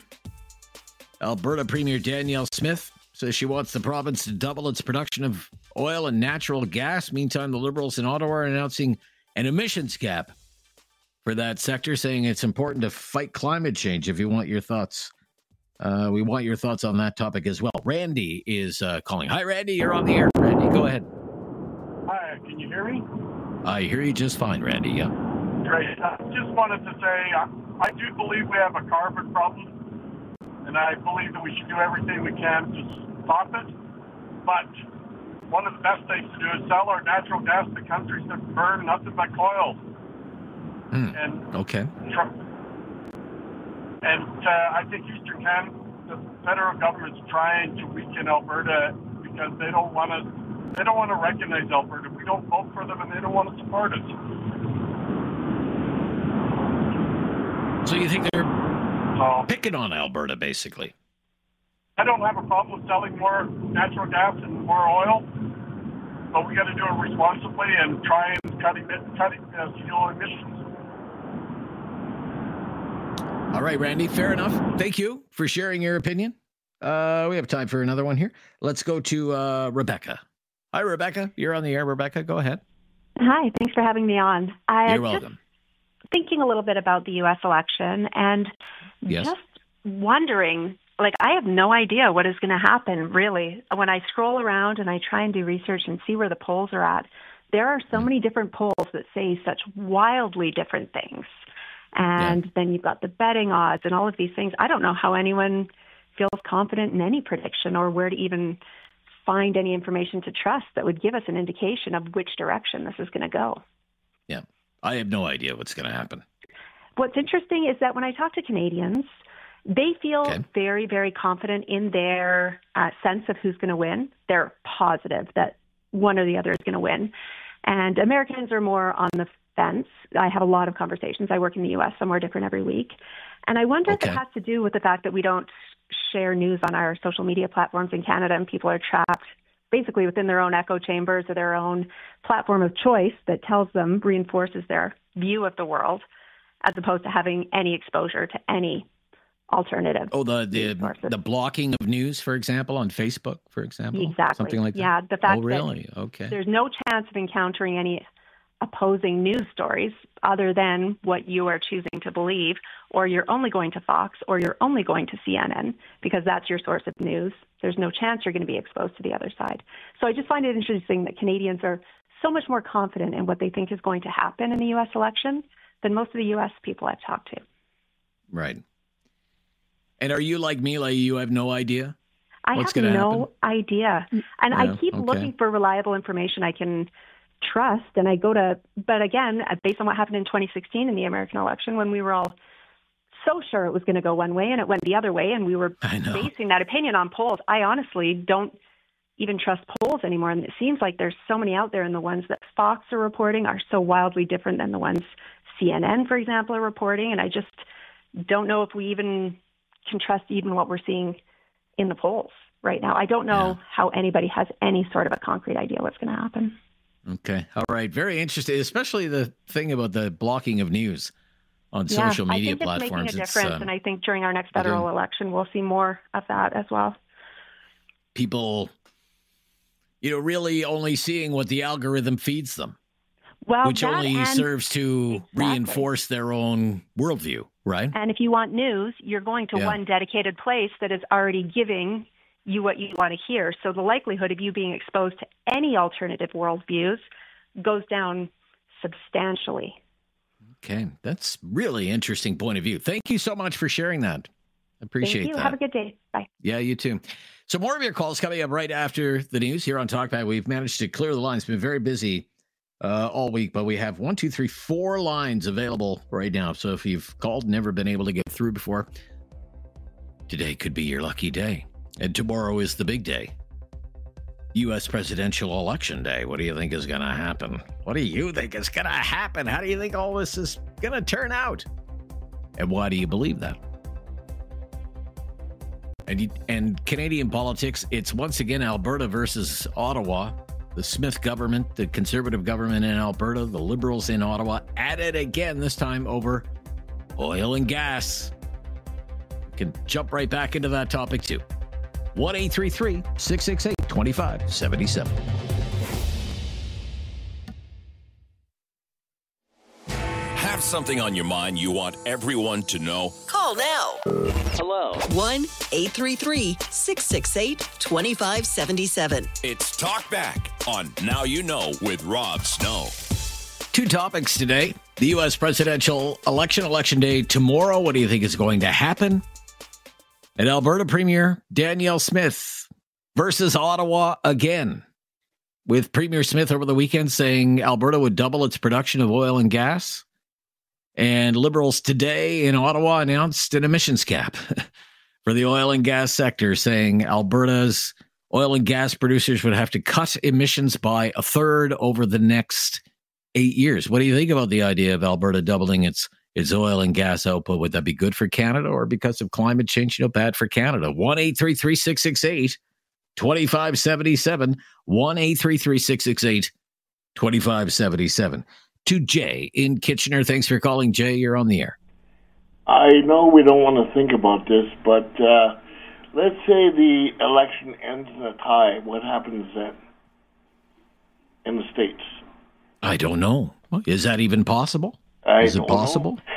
I don't know. I've never, I've never considered. I'm not an expert in the electoral college, unfortunately, Jay. So I can't even tell you if that is a possibility. Uh, has anybody even thought of a worst case scenario? What would happen with that? Because that that uh, shouldn't happen. But and I also want to give you thank you for giving us the freedom in, in this country to express our opinions uh, on your toll free line. I'm blind and in a wheelchair, and we've talked before. I really Oh appreciate yes, Jay. Yes, yes, yes, yes, yes, Jay. I really appreciate your your call again. Is there a candidate in that election that you favor over the other? For example, do you like Harris or Trump? Uh, are I you leaning one way or the other? favor and not reelect him. Not reelect him. Okay. And why do you say to that? Be judgmental, but you know. No, that's fine. That, that's fine. Uh, Da- do you think he's dangerous, or do you just think he's a bad guy? Do you think he's a crook? Uh, all of the above. Uh, what you- I, I'm in a wheelchair and blind. He has disabilities that people can't identify. okay. All right. All right. I don't know what you mean by that, Jay, but uh, I, uh, I thank you for your call. Yeah, I thank you for your call, and sharing your thoughts. Appreciate it. Yeah. I mean, tomorrow's. Oh, David, you can't have a tie. You can. You look that up. Yeah, I just looked Oh, that yeah? up because I didn't know either. And you can Okay. have a tie in the Electoral College in the U.S. Uh, this is from an NBC News explainer. Um, Okay. So the scenario would be called what's it's what's called a contingent election. This has never happened in the modern era before, but if nobody gets the required 270 electoral votes, what Okay. happens is Congress actually decides who the next president would be. Oh wow. Okay. So that's never happened before, but they do have a process for that uh, scenario. It In says case here, it happens. It says here it would be hotly contested and historic, of course. Quote, Congress has a set process to decide the president in that scenario, which would undoubtedly come after a slew of court challenges in key states yeah. aimed at challenging the election results. End quote. But it could happen. Well, thank you. Thank you for that. Okay. Some new information that I did not know that. Yeah. U.S. presidential election day tomorrow. What do you think is going to happen? Are you worried about it at all? Impacts for Canada? I mean, there's all kinds of questions we, we could throw at you. I'm always curious to know what you're thinking about when it comes to this election campaign. Donald Trump, Kamala Harris. I really don't have any idea what's what's going to happen. I, uh, as they say, there are more questions than answers. That's that's what I would say. I'm just being open and honest with you. And when it comes to anything involving Donald Trump and making predictions, I'll I'll be open and honest again. I have a very bad track record when it comes to predicting what's going to happen with anything that involves Donald Trump. Uh, I remain amazed at the at the resilience of his candidacy. Uh, I didn't think he was going to win the first time. Oh, certainly wasn't alone there. Uh, back in 2016 when he was running against Hillary Clinton, and um, you know I was wrong then. So were a lot of other people. I was in good company. Uh, and like some of the previous callers, I thought after January 6th and what happened on January 6th in the United States, I thought, well, that, that, like that has to be it. That has to be the end for Trump. He'll never come back for that. I remember saying to myself, and again, you know, look, I'm wrong again. So maybe I should, you know, I'm just, I've, I've resigned from making predictions when it comes to Donald Trump.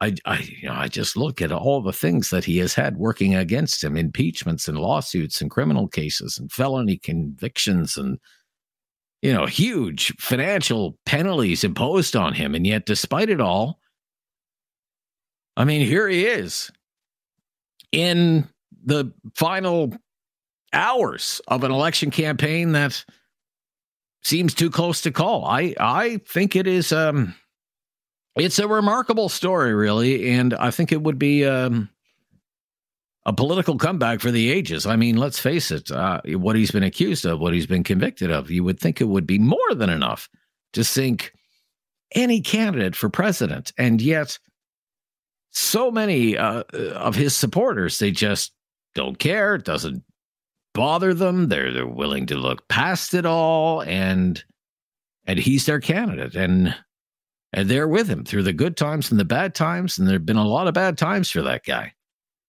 but he's still in the race and uh, he could win it all. Or maybe Kamala Harris wins, who, you know, is thrust into this after Joe Biden stepped aside. And, uh, you know, if Kamala Harris wins, it would be history. It would be history making. And the United States would have a, a woman president for the first time and uh, a woman of mixed race at that. So, what do you think is going to happen? What do you hope will happen? Any concerns, any worries about the election and its aftermath? I mean, think about how this could impact Canada oh so many ways. I mean, they're right next door, our, mo- our most important neighbor, our friends and our neighbors. Please there, share your thoughts today. What, what, what do you think is going to happen with this thing? 1 668 2577. Talk back on News Radio.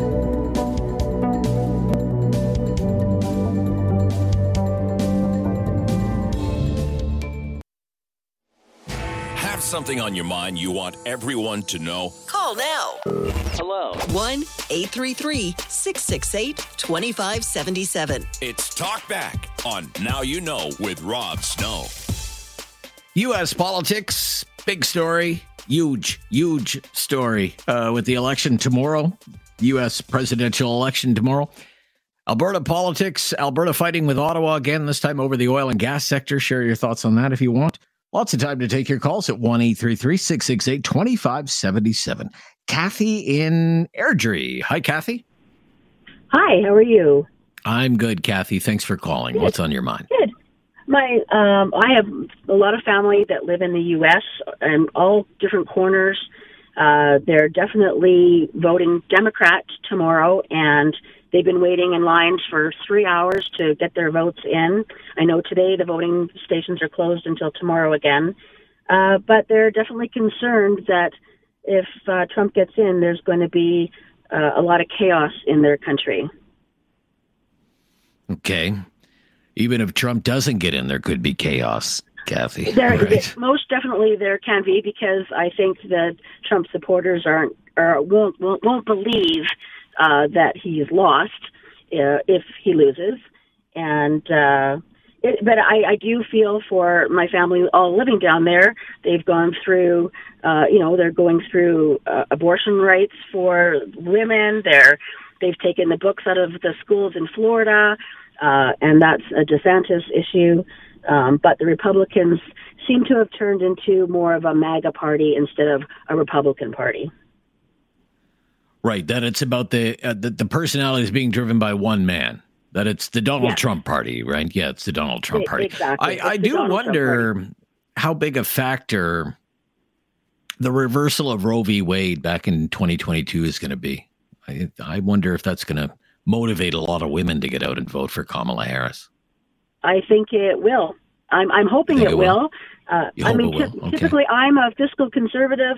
Uh, I like Danielle Smith. There's some things I don't agree with her about, but that's you know in in Canada that's how I am. In the states I probably would be, but there's no way I would ever vote for somebody like Trump. Okay. And what is it? Is it just if you could nail it down to your dislike for the man? What what is it? Just uh, Well, I don't think that uh, he represents the United States, uh, the people of the United States. He's Okay. a criminal. He's. okay. I just, I just don't feel he's good for the country. I don't think he's good for the world. I think he's a ticking time bomb. Dangerous. Okay, fair enough. Thank you. Yes, thank you. Yes, dangerous. Okay, thank you. Okay, uh, Ayaz, Ayaz in Calgary. Hi there. Yes. Hi. Hi, Rob. Hi there. Yeah, good to hear from you.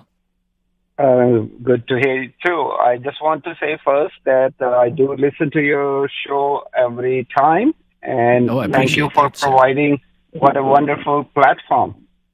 Well, thank you so much. That's very kind of you. Do you want to talk about the U.S. election or Alberta? Yes, I- or, this- yeah, okay. Today is my first time calling, and the reason is such an interesting topic.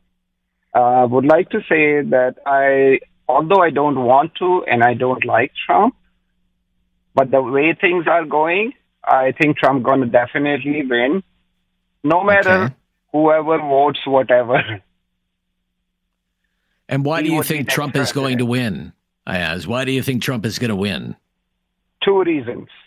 Okay. First, if he has what he has gone through so far, you know, from last time till now, you know, doing all sorts of things and getting uh, convicted and all that, but he get away every time with everything, right? He's a big crook. So there is a reason behind it. If you Okay. cannot criminalize him or stop him what he did last time, and after that he's still able to fight for election, that's one indication. Yes, there is a huge support. Someone is definitely in U.S. at their interests lying with him, so they're gonna try their best to bring him back. That's the one Okay. reason. Okay. All right. If he can get away with everything, he will get away again. All right. Second, Okay. internationally, what I think, Yes. and internationally, uh, people, you know, talking because I'm originally from Pakistan, so it, there is an interest of making Israel very strong in coming years in that area. Israel going to be, you know, representative of U.S. and of course, Trump would definitely do that. Trump would have a major role in that. So that will be the new politics internationally, going with Russia, Israel, and U.S. with the Trump in it. So I believe hmm. that's that's my take on that. There are two very Okay. strong reasons that you're going to see Trump again. All right. Okay. You've laid out the case. We'll see what happens in the coming days. yeah. I, I not, thank but- you. Okay. Okay. right. I thank you so much for your call and your kind words. As you call again sometime and keep listening. Thanks again. All right. We'll stop here and then uh, a couple of more calls before the top of the hour. Wind up this Monday edition of Talk Back here on News Radio.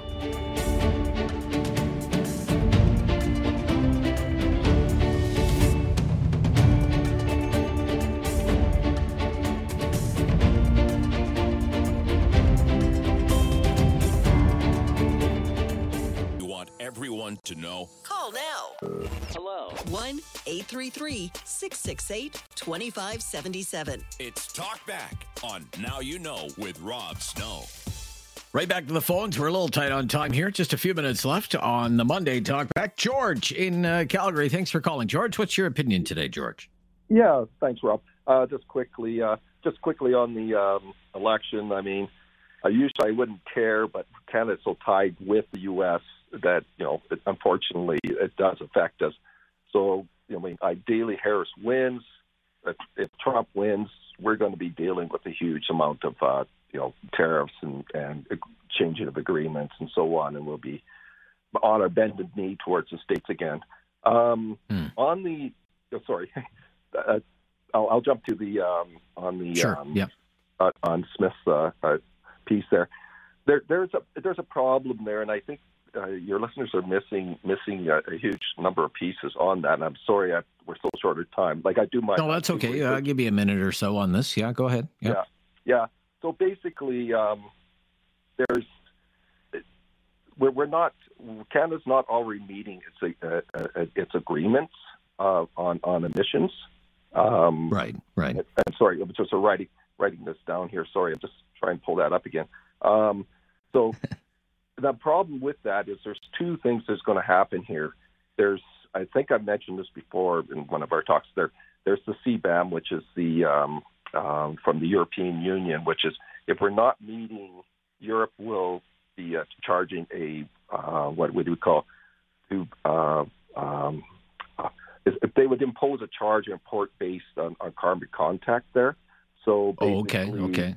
So so there's a charge. So we're if we're trying to export and we're a resource country, we try to export our stuff, then there's going to be a problem. And our biggest trading partner, the U.S., they are actually looking at the U.S. border uh, carbon adjustment.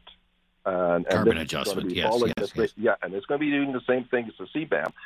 So if we start increasing and we don't meet our um, commitments on the um, on the um, on, On- on emissions uh, reductions? carbon capture, yeah, commitments on that. And I'm not even getting into the healthcare and stuff on that. Like I said, I, I, I realize we're short of time here, but that they they'll be charging us, and so Hmm. you know it just sort of loses that. And just that one last point, I keep on hearing people talking about the CO2 is good for the plants. That's only in greenhouses. That because they can control the humidity, they control everything else. CO2 causes the, with the heat and the moisture loss and the expansion of the um, with the little holes in the plants and so on. And and grains once once temperatures get up around 40 degrees Celsius, which there will be, where our grain project loses nutrition and so on. And some of and the yields definitely drop there Okay. too. Sorry, I know All there's right. so much there. And That's okay. That's okay. Yeah, a lot to take in, but I really appreciate your call, George. I wish we had more time, but we do. We do have to jump. Thank you. It'll be Joe in uh, Kitchener is the last call of the day. The best for last today. Joe.